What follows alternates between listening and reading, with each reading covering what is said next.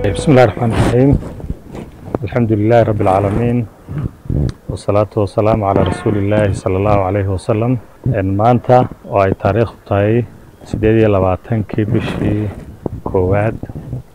ee labada kun iyo koob iyo labaatanka ahna maalin khamiisa waxaan joognaa librarigii qaranka ama maktabaddii qaranka ee gebiley maktabadda qaranka ee gebiley waxay soo martay marxalado badan oo mid walba uu waayihiisa lahaa. In fikirka la ysku raaco in loo raadiyo dhul iyo in loo raadiyo lacag lagu dhiso iyo in dhismo la taago iyo in dhismihii la qalabeeyo iyo in buugtii la dhigo iyo in la isticmaalo. Qodobadaasi iyo heerarkaasi ayaa loogu talagalay inay marto maktabadda qaranka ee geble kow waxaa maanta alxamdulilahi rabbilcaalamiina in dhismihii bulshadoo ka warqabta in dhismihii uu dhammaad boqol kiiba sagaaliyo sagaashan uu yahay. Oo ugu dambeyn dhirayntii iyo qurxintii iyo waxa afka qalaad lagu idhaahdo finishinku uu socdo. Dhisma ahaan. Waxaan rabaa kow inaan halkan uga mahadnaqo dhammaan bulshada jamhuuriyadda somalilan oo ay ugu horeyso xukuumadda jamhuuriyadda somalilan xukuumadda dhexe iyo dowladda hoose ee degmada geble oo iyagu ani la'aanteed mashruucani hirgelen waxaa kow aan rabnaa halkan inaan ka sheegno in lacagta ku baxday dhismahaasi qaybta u badan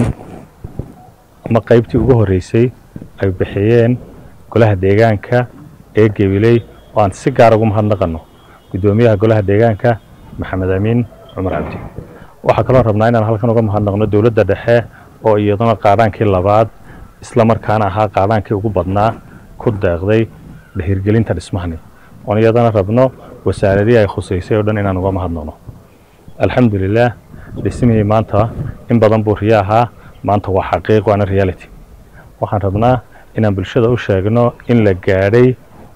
ama ay soo dhammaatay heerarkii uu marayey ee dhismo ahaan iyo qalabayntii oo hadda socota isla markaana hadda loo baahan yahay ama uu marayo heerkii buugaagta amaba qalabka la hoos dhigayo ee ahaa hawshii ugu muhiimsanayd ee ah in la isticmaalo amaba meesha ay noqoto meel manafacad leh. Sida aad la wada socotaan dhismahani wuxuu ka kooban yahay dhismayaal kala duwan oo isla markaana bixinaya adeegyo kala duwan. Waxaan rabnaa bulshadu inay ka hesho adeegyo kala duwan isla markaana qof walba uu wakhtigiisa adeegga uu rabo uu ka heli karo. Kow dhismahan hadda dhabarkeenna ka muuqdaa waa dhismaha wax akhriska loogu talagalay oo laba dabaqa oo dabaq walba boqol iyo konton qof ay fadhiisanayaan hal mar. Isla markaana ay ka helayaan buugtoodii iyo kombyuteriskii iyo ilaabkiiba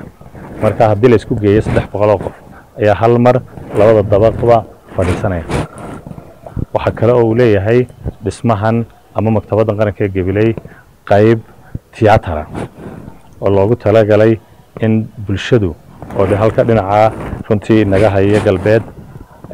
bari oo bulshadu aan rabno inay ka hesh inay ku soo bandhigaan doodahooga isla markaana ku soo bandhigaan buugaagta ay ay qoraan amaba noveliska amaba beberiska ay diyaariyaan ee bulshada manaafacaadka u leh inay ku soo bandhigaan in researchyada amaba runtii cilmi baadhisyada laga sameeyo gobolka ee ku saabsan khayraadka iyo goobaha dalxiisku leeyahay in halkan maanta ay noqoto meel lagu diyaariyo isla markaana bulshada loogu sheego. Tiyaatarkaasi wax badan buu inooga faa'iideynayaa. Waxaa la samayn doonaa in bulshadu kedisadeed iskuullada ay ku qabsan karaan in xafladaha lagu qabsan karo in seminaarada ay soo abaabusho ama dowladda dhexe ama dowladda hoose ee la siinayo laamaha kala duwan ee dowladdu in maanta halkii lagu qaban lahaa ay halkan noqoto. Isla markaana hay'adaha caalamiga ah ee dalka jooga oo xafiisyadooda gabiley iyaguna ay ka heli karaan goobo ay wax ku qabsadaan. Waxaa halkan ku yaalla hool weyn oo aan ugu talagalnay waxaan la idhaahdo tuitionska ama muraajacada ardaydu ay ka helaan macalimiintooda inay helaan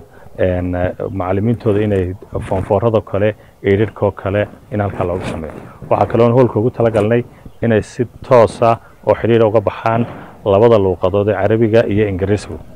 oo qof wal oo magaalada ku nooli uu timeka oo labadaa luuqadoodna ay noqonayaan luuqado bilaasha macalimiin qualifydana la keenayo ama ajaaniba oo labadaa luuqadood bixiya oo kadibna ay ardaydu qof walba saacadda uu firaaqada leeyahay. Oo halkaa ku dhigan karo waxaa halkan ku yaalla goob aan ugu talagalnay in bulshadu ay ka hesho hadday biyo u baahan tahay hadday oo cafeteri ah oo isaguna dhinaca waqooyi inaga xiga oo oo halka albaabka weyn laga soo gala ah isagana uu runtii adeegyadaasi qofkii aanu intuu wakti qaato dibaddii tegi karayna halka hadduu u baahdo biyo ama cunto uu halkan keeni karo. Adeegyadaasoo dhan waxaa laga helayaa maktabadda qaranka ee gabiley oo aanay hore u dhicin in adeegyadaasoo kale laga helo maktabadaha nooceega ah ee ku yaalla dalka. Intaa markaa ka nimaadno waxaa la gaadhay waktigii aan rabnay in la helo buugaagtii lagu manafacadsan lahaa. Buugaagtaasi waxaa la rabaa bulshadu guryaha waxay ku haystaan buugaag manfacle oo qof walba markuu waayo library noocana amaba environment ku habboon oo wax ku akhristo wuxuu ka dhigtay gurigiisa library guryaha qaar saddex boqoloo buug baa yaalla qaar shan boqol baa yaalla qaar kumanaan baa yaalla. Waxaan rabnaa bulshadu inay buugtaasi guryaha ka soo saaraan oo librariga la keeno dadkuna ay qofkaasi la manafacadsadaan maalintuu u baahdo iyo buug u baahdana system baa loo samaynayaa qofkii u qaadanaya gurigiisa ula tegaya uu soo akhrisanaya uu soo celinaya. Sida halkii isagoo keliya uu ka faa'iidaysan lahaa waxaa muhiima in qofkii buugtii lala isticmaalo oo lala faa'iido waxaa kaloon iyagana halkan baaq uga soo jeedinaynaa qoraayada dalka ee iyaguna maskaxdooda iyo muruqoodaba geliyey inay sameeyaan waxaan la idhaahdo qoraay buugta ay qoraan iyo gabayo hadday yihiin hadday sheekooyin yihiin hadday yihiin taariikho iyo history hore hadday yihiin halgankii dalka. Waxyaabahaasoo dhan inay iyaguna buugtaasi ay ugu deeqaan librariga qaranka ee gabiley oo ay halkan soo dhigaan oo iyagana magacooda iyo muuqoodaba runtii halkana ka muuqdo dadkuna aqoontaasi ay maskaxooga ku qaataan. Waxaan u soo jeedinaynaa bulshada reer somalilan in qaybta buug ururinta oo qaybtii ugu dambeysaya ay ka qayb qaataan jaamacadaha dalka oo meelaha ugu muhiimsana oo resource badan yaallo oo aan rabnana in ardayda jaamacaduhu ay u badnaan doonaan dadka isticmaali doona librarigan iyagana buugta amaba sarbalaska aaya ka badan ama buugta manfacale ee koobiyada badan ka hayaan. In qayb ka mida ay nala soo wadaagaan oo ay halkan keenaan jaamacadda timacadda gabiley jaamacadda new generation ee faraceeda gabiley jaamacadda hargeysa jaamacadda camuud jaamacadahaasoo dhan waxaan rabnaa in bugaagta ay koobiyada badan ka hayaan. Isla markaana faa'iidada lena ay halkan la soo wadaagaan. Waxaa iyaduna xusid mudan in wasaaradda waxbarashada ay iyaduna kaalin weyn ka qaadatay dhismahan oo si dadban uu line minister ugu yahay maadaama arrinka lagu qabanaya uu waxbarasho yahay. Iyaduna dhammaan wixii tagas books ahaa ay iskuullada u baahnaayeen.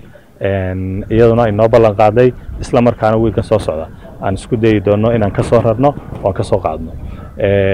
Waxaa jiri doona bandhig weyn aan ku qaban doonno xarunta dhaqanka hargeysa wiiga soo socda. Maalin ka mid ah oo insha allah aan soo shaacin doono isniinta ama kowda february ah